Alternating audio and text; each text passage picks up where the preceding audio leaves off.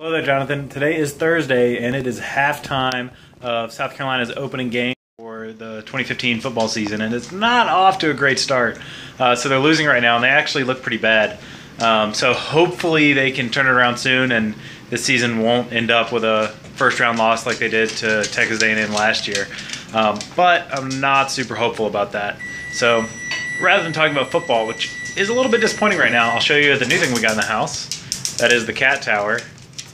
As you can see, the cat's playing on it in the background over there. Um, so you can see it's pretty pretty big, um, and Sabrina loves it. Casper, I guess, is starting to like it a little bit more, um, but well, there Casper goes.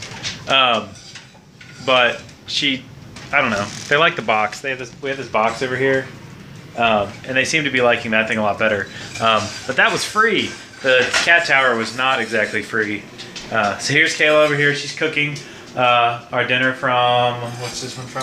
Home Chef. Home Chef. Uh, so we're trying this new cooking program where they send us all the ingredients to make pretty good food, and we have to go through it all and um, cook it all. And Kayla's been doing the bulk of that since I've been pretty busy with work. Um, but she's hoping that once she has exams coming up soon, I'll start helping out a lot more with that stuff. Um, so I told her I will, which I should. Kayla's nodding her head over there.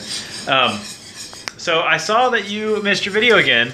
Um, I don't know exactly why. You said that you pressed upload, but YouTube seems to disagree. So I think that rather than dancing to a video this time, what you should do instead is lip sync. Um, and I'll let you pick whatever video you want as long as it's over two minutes long. Um, so that will be your next task in your next video. Um, and feel free to upload that one you already made, uh, even though you just forgot to upload it. So with that, I will see you on Monday.